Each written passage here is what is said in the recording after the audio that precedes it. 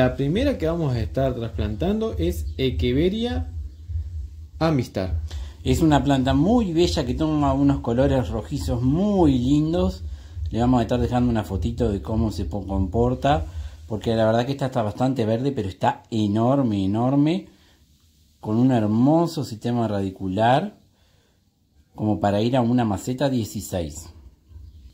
Bueno, la segunda es Echeveria Dolphins. Eh, no sabemos los parentales, seguramente puede ser un híbrido de agavoide por los mucrones y esa forma de punta. Tiene un poquito de producto en las hojas, se ve que algún insecticida o algo que han utilizado con ella para combatir alguna plaga o algún preventivo. O algún antifúngico, sí, ya que ha estado lloviendo mucho en estos días por acá. Así que capaz que es algo de eso. La tercera es un híbrido que no tiene nombre propio. Es un híbrido entre Echeveria lilacina y Echeveria agavoides eh, ebony. Muy linda, la verdad que la vimos en el álbum de, de, venta online y nos encantó por su hoja ancha y por su mucrón bien marcadito. La cuarta es una Echeveria Super Bowl, muy deseada, hace mucho tiempo la queríamos, pero estaba súper cara súper cara cuando ingresó a Uruguay. Ahora ha bajado mucho el precio y bueno, decidimos adquirirla. Con un porte precioso. Es una onda muy parecida a lo que es Black Prince, pero hace como una monstruosidad en la hoja que con el tiempo se va cada vez incrementando más. Cuando tiene porte adulto hace como muchas como protuberancias alrededor de la hoja. Que parece ser eh, como algo de Madiva, ¿no? claro. Es muy similar a lo que es Madiva. Sería como una cruz entre una Madiva y una Black Prince. Pero ahora después vamos a googlear cuando editemos el video y le vamos a comentar si encontramos alguna información de ella. Bueno, esta belleza también hace tiempo la queríamos. Es un Sedum clavatum variegado. Siempre lo veíamos en los álbumes, pero por lo general no estaba tan variegado. Siempre lo veíamos muy blanco. Y bueno, este estaba hermoso, tenía un variegado increíble, así que decidimos adquirirlo. Se ve que está un poquito estresado también porque recién está enraizando, pero va a enraizar, esperemos que así sea, bien con nosotros. Y este es un esquejito de regalo que recibimos que vino sin identificación. Parece ser alguna variedad de sedum. Muy hermoso, si saben la identificación, encantado de que nos cuenten. Al parecer va a florecer. Ahora que lo veo en la cámara. ¿Florecer o hijitos? Puede ser. Comenzamos plantando la Echeveria Amistar que como está con un buen porte va a ir claro a una maceta 16 total va a estar en el invernáculo con riego controlado. Y le vamos a ir haciendo no le vamos a dar riego muy profundo a medida que vaya llenando el pan de sustrato. Vamos a llenar la mitad de la maceta vamos a colocar la roseta que tiene unas hojitas ahí este un poquito maltrataditas pero no, no parece ser hongo. Es machucada como con una maceta con algo de eso. Sí seguramente puede, ser que se haya como decía Joan estuviera en una maceta chica y el, el roce de la maceta a veces la, la machuca. Las raíces están sanas tiene unas raíces blancas preciosas. Bueno, muy bien. Bueno, esta belleza no hay información, por lo menos no tenemos. Si encontramos alguna, le vamos a dejar. Lo vamos a ir dejando ahí abajo porque la verdad que no. Siempre cuando hacemos los cartelitos es cuando nos ponemos a, a investigar sobre su origen y todavía no le hemos hecho los cartelitos. Pero siempre la veíamos los álbumes porque es una planta que, que no es cara y y se colorea muy linda. Y sí, y ahora que la vimos de un porte grande nos encantó y bueno, está. La sumamos al jardín. Unas nuevas compritas. Siempre nos gustaba, pero pasaba de que nos gustaba ella y nada como del resto que había. Entonces no, no la comprábamos para no comprar solamente esto. Claro, por el tema de, de pagar los envíos, ¿no? Claro. Que hacer un envío por una planta sola es algo que a veces sí es una planta muy deseada y cara y bueno, está, compras solo esa. No recuerdo el precio de esta, pero... Creo que salía 250 pesos uruguayos. 200 pesos uruguayos serían como unos 6 dólares por ahí. Sí, más o menos. Sí, más o menos. 6 dólares. Entonces, el, el envío simplemente sale más o menos unos 5 dólares. Entonces era pagar más de envío que, Sí, que sale la planta. Casi el mismo precio de la planta. Entonces siempre esperábamos a tener por lo menos otra como para que el gasto del envío tuviera un no tuviera no fuera en vano. Bueno, ahora acá. No sé qué es esto con la maceta. Vamos a plantar algunos de estos dos que creemos que son híbridos de agaboide. Uno sí sabemos que sí, Claro. este porque es la cruza de Queveria lilacina por Queveria ebony. Nosotros a todo lo que es agaboides las tenemos en maceta cuadrada. Así que estas no van a ser la excepción. Todas las agaboides chicas, ¿verdad? Sí. Porque las grandes ya, las de tamaño mayor ya están en bowl. Bueno. Vamos a ver cómo queda ahí. Está muy linda esta planta. Y esperemos que en esta época enraíce y crezca precioso. En esta época de otoño, invierno, las agaboides están en todo su esplendor. Las nuestras, por ejemplo, se han coloreado hermosas en el nuevo lugar. Tenemos que compartirles cómo están ahora. Tenemos que hacer un cursito de invierno. Sí, están divinas en el nuevo lugar que le dimos en el frente de la casa, con todo el sol. Y otra cosa que tienen es que se reciben toda la helada. Los días fríos que hay helada, ellas están sin ninguna protección más que el techito que tienen, pero les cae la helada encima, pero ellas aguantan mucho. Les contamos que bueno, ahora por suerte hemos tenido buenas lluvias después de tanto tiempo que no había llovido y también unas buenas heladas. Bueno, seguimos con la Dolphin, que es una belleza, ese manchadito que hace las hojas nos encantó, nos encantó, nos encantó. Y bueno, tiene unas raíces hermosas, esperemos que ahí se esté viendo. A ver, yo les muestro esta. Sí, ahí se ve perfecta. Vale. y le muestro cómo quedó la amistad. Ahí quedó con piedritas, ya pronta para crecer y en comenzar a colorearse.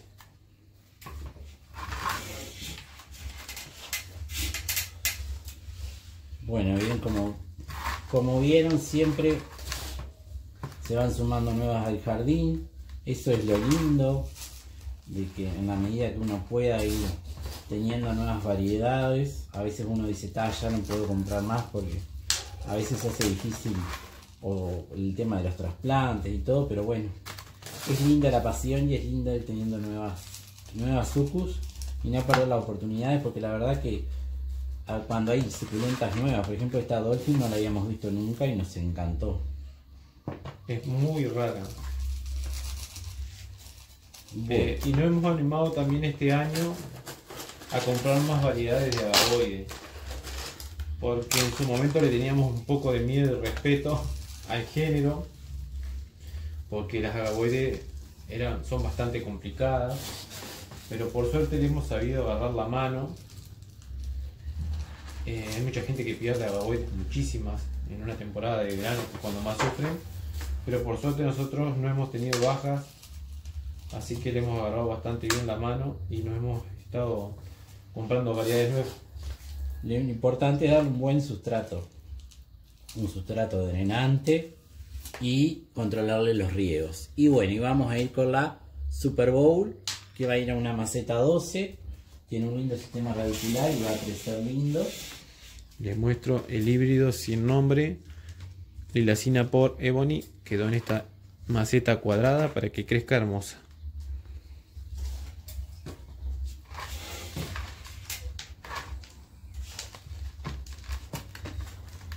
Esta es muy linda, pero vemos que es una planta que ha, bajado mucho de precio muy rápido.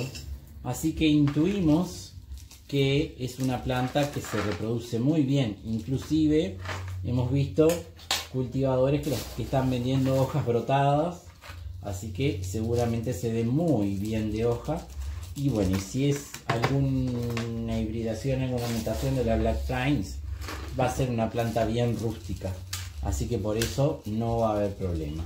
seguramente en algún tiempito más baje muchísimo el precio, como decía Joan.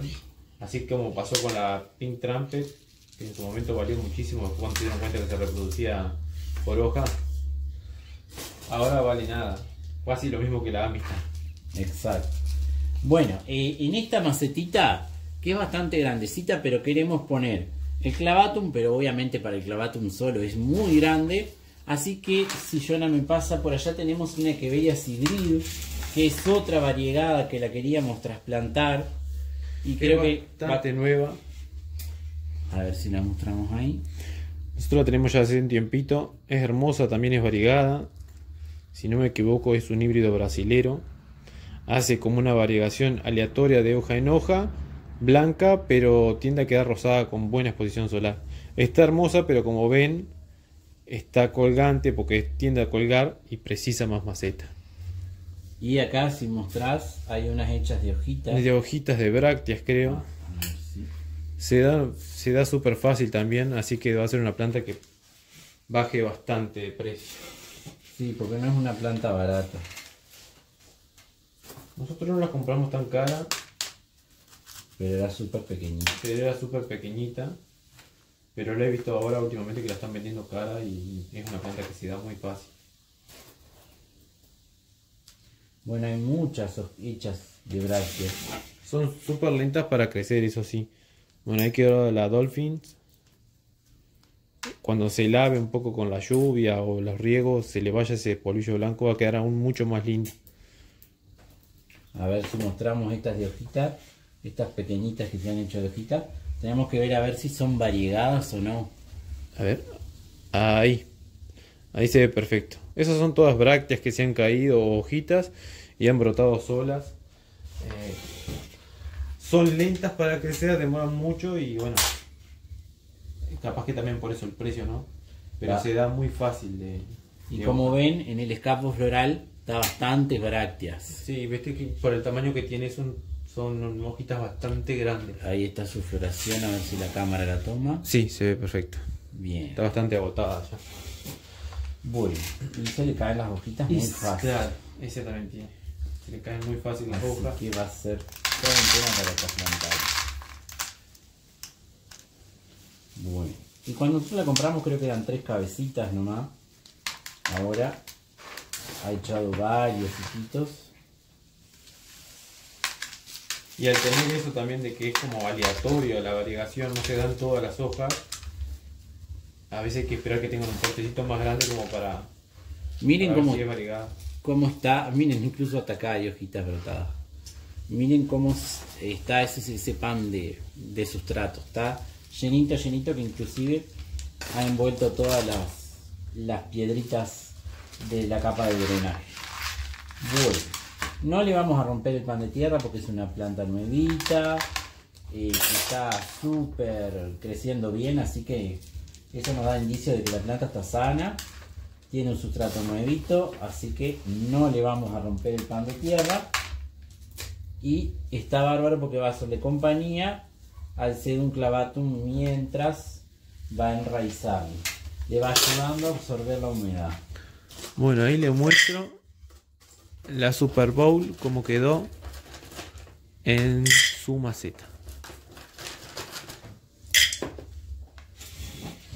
Muy bien. Vamos a poner el sustrato por acá. Seguramente, ¿qué te parece Negro, si ponemos adelante la, la Sigrid Sí. y atrás el sedum clavatum? Sí, está bárbaro. Porque el sedum capaz que va a tener un porte más alto que ella. Además ella tiende a, como decíamos, a colgar. Claro. Y se le super salen las hojas cuando uno la, Las la manipula. Debe ser una planta dificilísima para enviar. Tal cual. Nosotros tenemos hijitos hechos de ella, pero no, no hemos vendido. ¿Eso dijiste de que le hicimos de hoja? De hoja creo que sí. No me acuerdo.